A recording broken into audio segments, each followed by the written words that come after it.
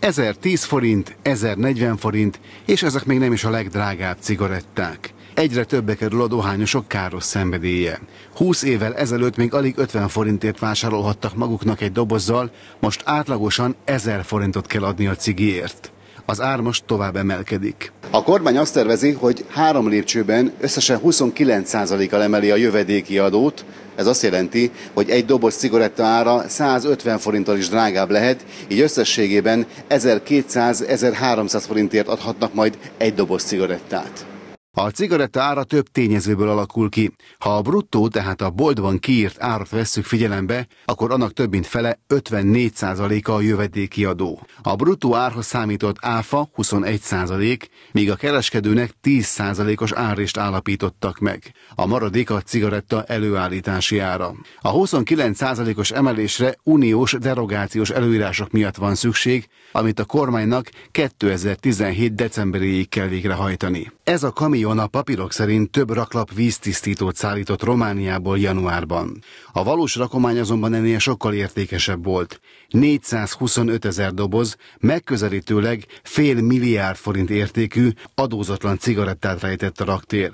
A vámosok a múlt évben másfél milliárd forint értékben foglaltak le illegális cigarettát.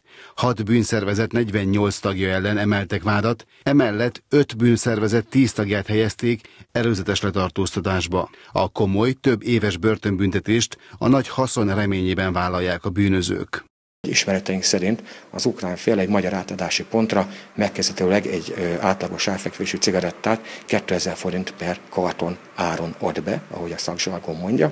Erre a magyar fél egy 6-700 forintot számol fel, és ilyen áréssel értékesíti azt nagykereskedő orgazdák részére határmenti térségben.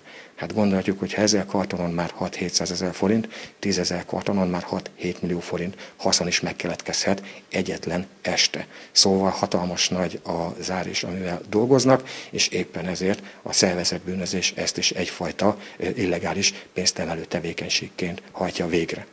Februárban leplezték le a pénzügyőrök ezt a kálósemjéni illegális raktárt. 15 tonna feldolgozatlan dohánylevelet találtak itt a fináncok. A bűnügyi igazgató azt mondta, gyakran előfordul, hogy a termelők asszályra hivatkozva nem adják le a teljes termést a hivatalos feldolgozónak. Inkább illegálisan értékesítik, falevelekkel és növényi maradványokkal feldúsítva. Ennek a fekete piaci ára rendelt mennyiségtől függően egy 5-7 ezer forintra tehető. Ezzel szemben a fogyasztási dohány jelenleg egy 110 grammos fogyasztási dohány adózatlan kereskedelmi forgalomban megkezdetőleg egy olyan 2800-3000 forintos áron kapható, tehát egy kiló adózott fogyasztási dohány legkevesebb 28 ezer forint. Ezért lehet, hogy míg tavaly egész évben 5,6 tonna fogyasztási dohányt foglaltak le a pénzügyőrök, addig idén csak januárban 93 tonnát.